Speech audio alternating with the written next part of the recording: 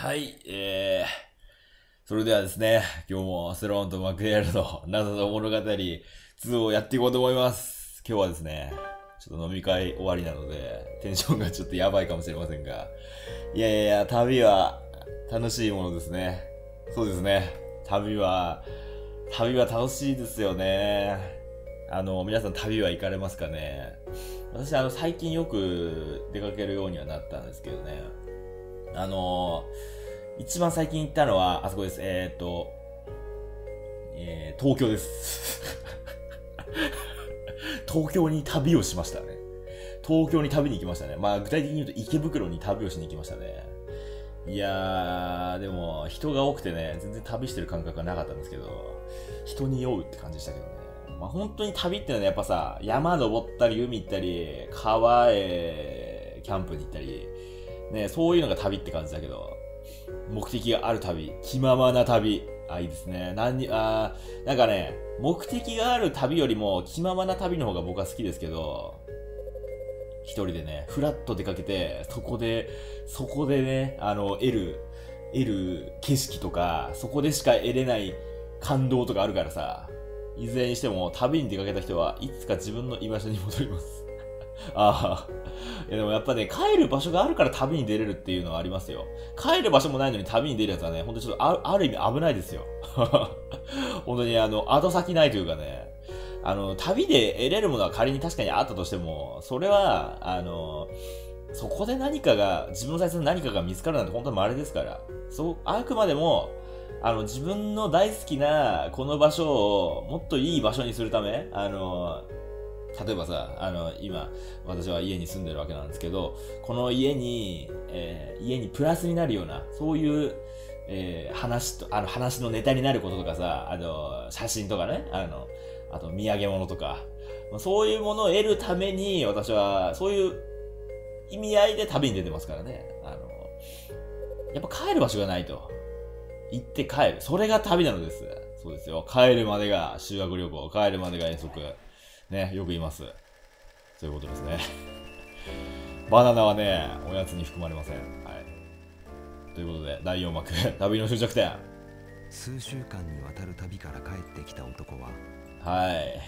海に浮かんでいるところを発見されたなんで？おかしくないですか？また事件か一体なぜ？なんで？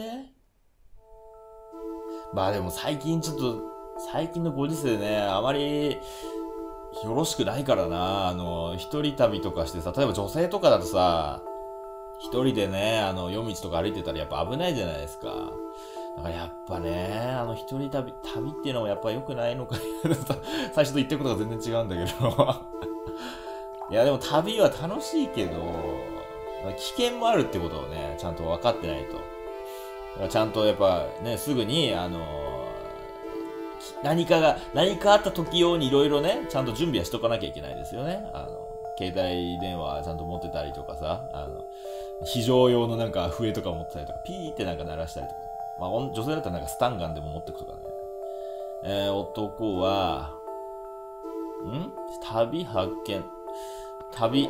男の旅は、楽しみ、準備、宇宙人、強盗、竜巻？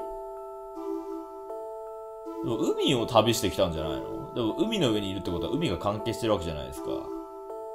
まあ、これ全部海関係してないけどね。あるいは準備万端でそうですよ。だから危険があるならね、準備はしっかりしていかなきゃいけないんだよ。はいはい。旅先の勉強はもちろん厳しいトレーニングも、厳しいトレーニングが必要なのか、その旅には。まあ普通さ、旅行とか行くとき別にトレーニング とかしていかないよね。なんか例えばさ、なんか、どっか山、あ、でも山登るのはちょっと、いろいろ準備とかね、あの、トレーニングとかああんのかもしれないけど、ひょっとしたら、普通にどっか旅行に行くのにさ、まずちょっと体を鍛えてから行こうとか、そんな風に思ったりはしないからなえ？ー、どこのさ、仕事、あ、仕事関係してますか？はいあ、関係してるんだ。どこは仕事で旅をしてた。あ、遊びじゃないんだ。遊びっていうか気晴らしに旅に行く。これが仕事なんだね。冒険家かな？じゃあ。男は、発見。あ、男が発見された時死んでた死んでましたか？そしたら事件的な。いいえあれ？海に浮かんでるのに死んでない。かろうじて生きてたってことかな？男がは、男が発見したとき、喜ぶ場所、時間、衰弱していた。遭難してね、海で。海で遭難していて、はいあ、衰弱してたんだ。一人では歩くことさえままならない。はあ。ライフイズ、ライフオブパイだったかななんかそんな 映画を、ちょタイトル間違ってるかもしれないですけど、なんかそんなイントネーションの映画を見たんですけど、なんか、獣と人間が海で遭難して、みたいな。冒険家なんじゃないか、こいつは。ちょっとヒントは見ません。ちょっと今日はヒントを見る気分になれないんで、アンナさんすみません。今日はね、自力で発見したい。ちょっとどうしてもわかんなかったヒントを見ることにしますが。とりあえずは、男が発見された時喜びましたか？どうだ？はい生きて戻れたことを喜びました？やっぱりちょっと危険な旅だったんだな。男は有名な、有名だった？はいあ、有名なやつ。この旅に行ったことで、世界的に有名になりました。じゃあこの旅自体はかなり有名な旅。あ旅の目的は何ですか？探検、観光、亡命、探検だな。探検、探検家っぽいよね、こいつね。あ、やっぱそうだ。ナポレオンか？はいまあ、ナポレオンか男は未知のナポレオンじゃねえ。ナポレオンだったっけなな、な、ちょっと、すいません、歴史のね、歴史の成績が悪いので、私は。未知の領域？あの、新しい大陸発見した人誰だっけ？そいつか？ジャングルじゃないかアマ、あ、アマゾン。アマゾン？新しい大陸を発見したんじゃないか、お前は。男が向かった先には木は一本も生えていなかった。あ、じゃあやっぱ海に行ったんだって、こいつ。あ、違う違う違う違う。違います。海に行ったんだよ。海に出た。海賊王になる。俺は海賊王になるっつって、裸一匹。裸一匹じゃねえな。あの、飛び出したわけだ。新大陸見つけたんじゃないでしょうか。いいえ違う。こいつはどこの未知の領域に行ったんだ？古代遺跡深海。深海か、じゃあ。海だしな。多分そうだな。いいえ違う？ただし、呼吸ができない点は共通しています。普通の場所じゃないね。水中以外で呼吸ができないって言ったら、宇宙空間ぐらいだが。まさか？まさかこいつはこんなひょうひょうとしてるけども男の旅は、どっか旅先で宇宙人にさらわれた。でもなんか、それ系統だろ、実は。あ、違うか。宇宙関係してそう。関係してそうだぜ。とこの目的地は、多分、え距離？距離が遠い。今はこれしか聞けない。質問に宇宙という選択肢がなかったからな。俺はもう宇宙だと思ってるよ。とてつもなく遠いところでした。それか、もう、太陽。わかんない。なんか、呼吸ができないなんて、なかなかないよね。どこだろう。じゃ、いいや、これはいい。男の旅の目的地は、旅の、えー、目的、ぜ出ない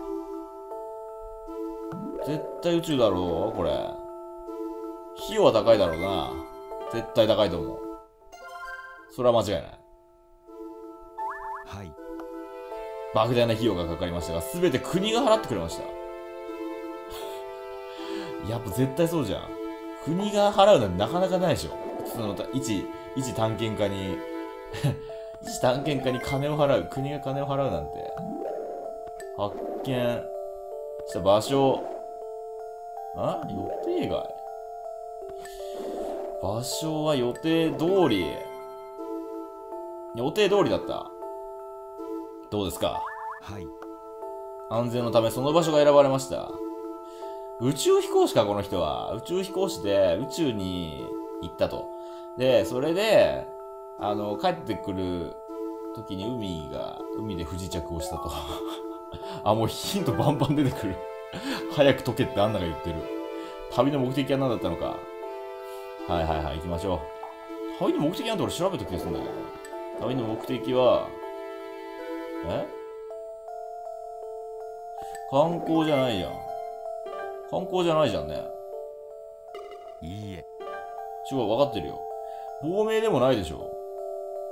旅の目的なんて今更調べたところでさ、探検か？いや、探検は調べたんだよ。亡命だじゃん。食べ歩きは絶対違うと思うから。いいええ？花さんのヒント何だったんだ？あんなヒント。旅の目的は何だったか。旅。目的。食べ歩きじゃん。絶対ないだろ。いいえ分かってますよ。分かってました、それは。まあいいや、じゃあそれを飛ばして、じゃあもう一個のヒント。海で男は何をしていたのか。海で？あ、海も調べれたんだ。海で男は、あー、船船に乗っていた、かな？はいしかしその船はとても変わった形をしています。宇宙船。宇宙船。宇宙船でしょうか。あまり、その、ね、宇宙飛行士が帰ってくるときにどういう経緯をたどるかとか全然わからないんで、変わった船は、そうですね、形が、え？形が UFO。形が UFO のようだった。いいえ違うか。立方、どういう形してんだろう。形は、立方体っておかしいよね。球状かな？なんかあのードラゴンボールで、あの、フリーザたち、フリーザじゃねえや。ね、あの、ナッパたちがさ、来た感じの。どういう形なんだろう。旅。旅は、あ、変わった船が旅していたのは空だった。やっとここにたどり着いたぜ。はいそこからある巨巨大なものが見え、男がとても感動しました。絶対宇宙、宇宙で、地球を見たのかな？地球はどうでしたか？青かったかな？丸かった。地球は丸かった。はい窓を覗くと青くて丸い、青くて丸い地球を見ることができました。なるほど。行きましょう。そういうことでした。なんとなく分かってたけども、男は何のために、探検かな。旅費を払ったのは、なんか国みたいですね。国がね。男、これは知らんぞ。これは知らんぞ。男が旅立ったのは、そうですね。じゃあ70年とかにしておきましょうか。リアルな、リアルな数字で。男と一緒に発見されたのは宇宙船。男の職業は宇宙飛行士で。さ正しいようですあ、よし。ちょっと時間かかってないか？今回。大丈夫か？ここで終わるか？もう一個ぐらいいけるかな？男は宇宙飛行士だった。もちろん、男が数週間かけて旅していた場所とは宇宙である。これは、1970年代の話。男の乗る宇宙船は宇宙空間での様々なミッションをこなし、地球への帰還を試みた。当時の技術では、宇宙からの帰還の際、陸地への着地は難しかった。そこで、より安全に帰還するために、海への着水が計画されて、されたのたのである。男の乗った宇宙船は当初の予定通り、海への着水に成功。無事、帰還を果たしたのである。はあ、そっか。よかったね。よかったね。だからさ、海に着くっていうのもさ、ちゃんと、あれか、やっぱだから国がバックアップしてるからね、ちゃんと追跡して、ちゃんとすぐに救助はしたかな。うん。宇宙への旅は人類の夢の実現でした。それはそうですね。宇宙空間とかすごいロマンですよね。数々の危険を乗り越えて安全性を高める努力が続けられています。いや、あとちょっと月に住んでみたいもんね。月に、月に降り立ってみたい。宇宙からの機関船がパラシュートを開いて海に降下するのは、それが最も安全だと考えられたからなのです。最近ではスペースシャトルによる滑走路への着陸を見慣れていますが、あ、そうかそうか。ロシアのソユーズ宇宙船などは現代でも機関船を使用しているよう、使用しています。こちらは広大な草原など地上への降下をすることが多いようです。へえ。ウィキペディアみたいな情報が知れたな、ここで。よかったよかった。では、次に行きましょう。まさか宇宙のね、話がね、飛び込んでくるとは思わなかった。楽な仕事などないと今そうですよ、本当に。どの仕事だってね、あの、この仕事はきついからもっと楽な仕事に就こうっつって、いやー、それは間違ってますよって言いたいですよね。どの仕事もね、やっぱ大変なことはあるんですよ。大変なことからそんな逃げてたらね、仕事なんかできないんだよ、ほんと。どんな仕事でも、その仕事ならではの苦労はつきものです。そう。それが言いたいわけです。手抜きをすれば楽にな、楽にはなるのでしょうが。あー、まあ、それはいやり方だよね。いいやり方だよね。どの仕事もね、だから、苦労することはもちろんあるんだけども、手を抜くことには多分抜けるんだよ。そういうやり方はあるんだよ。仕事をしていけば多分わかるんですよ。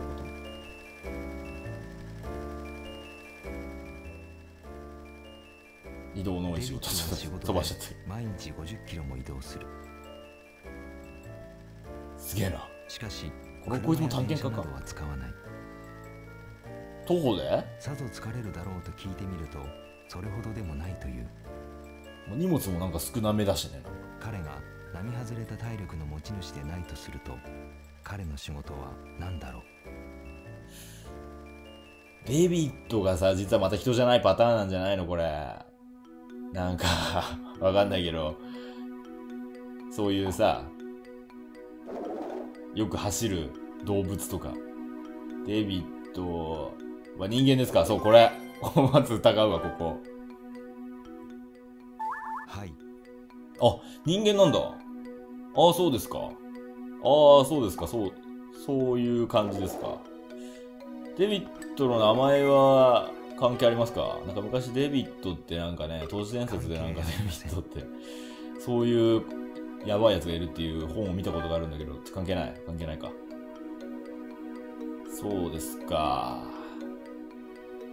仕事ってなんだろうね。この仕事が、あ、仕事の場所。場所も関係ありそうだね。ズバリですね、これ。ズバリでござった。はいズバリでござったよ。それはとても高い建物でした。たとても高い建物？スカイツリーか。スカイツリーで仕事をしてた場合、例えばエレベーターで上、あ、あれだ、エレベーターの案内人みたいな仕事だったら、ま、何回も何回も行き来するじゃないですか。それかもしれないね。高い建物、客？客と、仕事、高い建物に客は仕事をしに来ているあ？高い建物に客は仕事なんか意味わかんないな、これ。客、客が仕事にしてるっておかしいでしょ。あ、宿泊。宿泊しに来ている。そういう感じか？ホテルか？はいホテルマンか、これは。そこにはたくさんの人々が宿泊していました。あー、だからこうさ、こう、何回も何回も行ったり来たり行ったり来たりするから、でも50キロも行きますか、それで。50キロ行くとは思えないな。ちょっとそれは信じられないな。50キロを移動するのに、毎日同じくらい？そんなことないと思うけどね。いいえこれはちょっと持ってますわ。持ってますわ、それは。移動距離は毎日微妙に違い、特に週末は多くない。あ、そこはちゃんと。なるほどね。50キロぐらいってことね。50キロぐらい。ってことはだ。乗り物は使ってないね。エレベーターっていう乗り物を使ってますね。間違ってますか？おー、いいんじゃないですか、これは。はいこの仕事には欠かせない便利な乗り物を使っています。絶対エレベーターだ、これ。間違いない。便利な乗り物とは、うーんと、大人数を、が乗れるやつ。まあ、ちょっとエレベーターとはいうはい 直接的にはいけませんでしたが、デビットが使っていたのは20人乗れるタイプは間違いないわ、これ。もう行こう。パッパと行こう、これはもう。これはもうね、デビットがさ、えー長距離移動するときの姿勢、姿勢か。逆立ちでエレベーターに乗るやつ俺は知らないので、多分立ってるだけでしょうね。デビットの仕事で最も役に立つのは、接客のうまさ。デビットが働いている場所は、ホテル。デビットの仕事は、ベルボーイっていうのかなベルボーイ。ベルボーイ。正しいようですあ、イエス、イエス、イエス。いやーって感じですけど、さあ、彼は高級な超高層ホテルのベルボーイだった。お客の荷物を部屋まで運ぶのが主な仕事だが、高層ホテルでは昇降の移動だけで相当な距離になる。その間、彼は立ってるだけだ。そうです、でもあ、ある意味合ってたな。だから、要するにあれでしょ？だから、このエレベーターで案内する、して、なおかつ、えー、そこまで運ぶ。で、それを何回も何回もするから、いろんな、相当な距離になってたのか。もちろん立ちっぱなしでお客を案内する仕事は楽ではない。そうですね。でもきっとこの、この彼は、笑顔、笑顔でね、誰に対しても笑顔で、素敵な笑顔を、0円のスマイルをね、昔はデパートなどにもエレベーターの案内係がいましたが、最近は見かけることも少なくなりました。でも俺この前出かけた時に見ましたけどね。いるんだなーって、ちょっと、ちょっと逆にちょっと申し訳ない気持ちにもなったな。なんか、そこまで案内、なんか、そこまでしてくれなくても自分でやりますよ、という感じでしたが。合理化は世の中の流れですが、寂しいような気もします。そうですね。では、ありがとうございました。ご視聴ありがとうございました。次回に続きます。